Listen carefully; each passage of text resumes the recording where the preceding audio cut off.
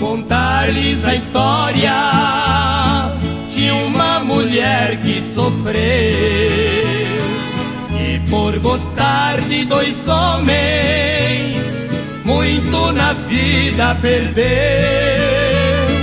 seu coração indeciso vivia sempre em delírio o seu amor para dois era prazer e martírio. Sucedeu daqui, em uma terra sem nome.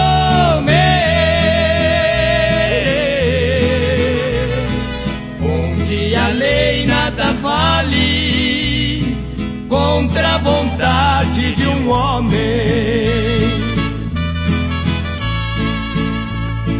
Ela pensando a vida,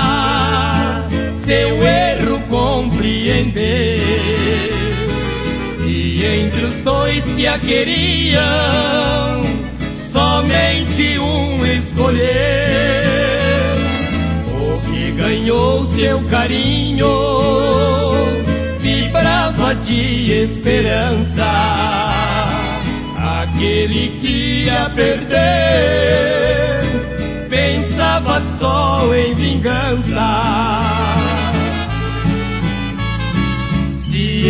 Se entregando aos bares, dias e noites bebia, se transformando em ódio o grande amor que sentia.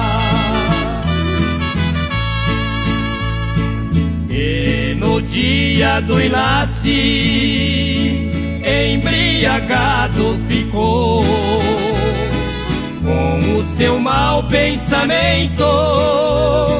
A igreja se encaminhou, tinha jurado vingança no dia do casamento.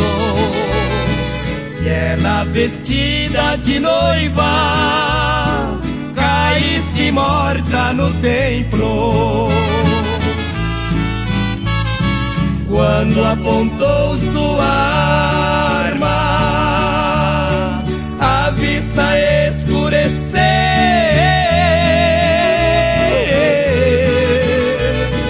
Caiu de joelhos chorando pedindo perdão a Deus.